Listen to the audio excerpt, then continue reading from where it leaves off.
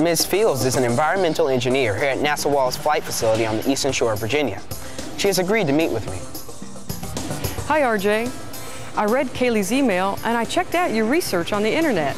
I understand that you want to learn more about the impact of oil spills and how to clean them up. Yes, we have lots of oil globs on the beach, and we're all worried about the plants and animals. Well, you have good reason to worry. The toxic properties of oil can damage or destroy plants and animals. I mean, just a dime-sized blotch of oil on a bird can impair its insulating ability, resulting in hypothermia and death.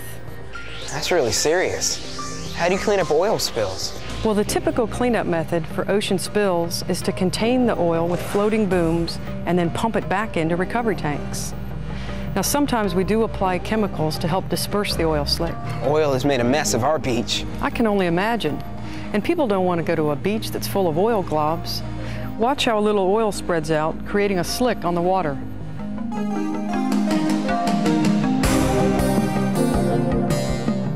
Wow, it really spread out. Yes, and a small amount of oil can cause a lot of damage. Look at how the oil clings to the feather the oil coats the surface of plants and animals, effectively smothering them. Our area depends on tourism, so I'm sure that the oil on the beach is hurting businesses. Who is responsible for cleaning up the oil from a spill? Well, whoever spilled the oil is responsible for getting it cleaned up. Who makes sure they clean up all the oil? Well, in the United States, it's the Environmental Protection Agency or the Coast Guard. We learned about cleaning up oil spills from our NASA Sci-Files Kids Club. But aren't there other ways that can be done? Well, during an oil spill, it's critical to try to clean it up before it reaches land and affects the shoreline. So we need to be able to predict where it's headed. The paper dots simulate our oil slick.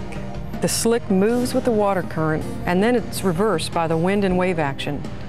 The waves also act to break up and disperse the slick. So how do you predict where it's headed? Well, we use planes to fly over the oil slick and we map its location.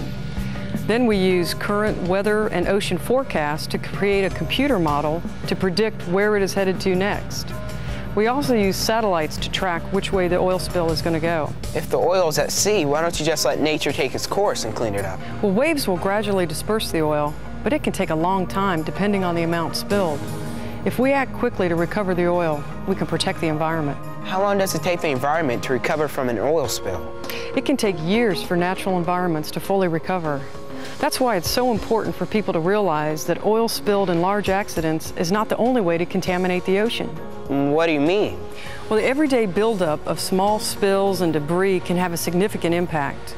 Stormwater flows over parking lots and streets, and it carries the oil into rivers and streams when it ends up eventually in the ocean. I never thought of that. I guess that's why it's so important to recycle after you change the motor oil in your car. Yes, and it's also helpful if there's a buffer zone of vegetation that can trap some of the pollutants. Looks like we have our work cut out for us.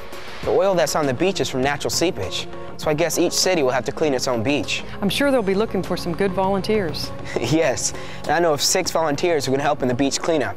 Thanks, Miss Fields. You're welcome. Do you know where I can find Dr. Moisen? I sure do. Come on.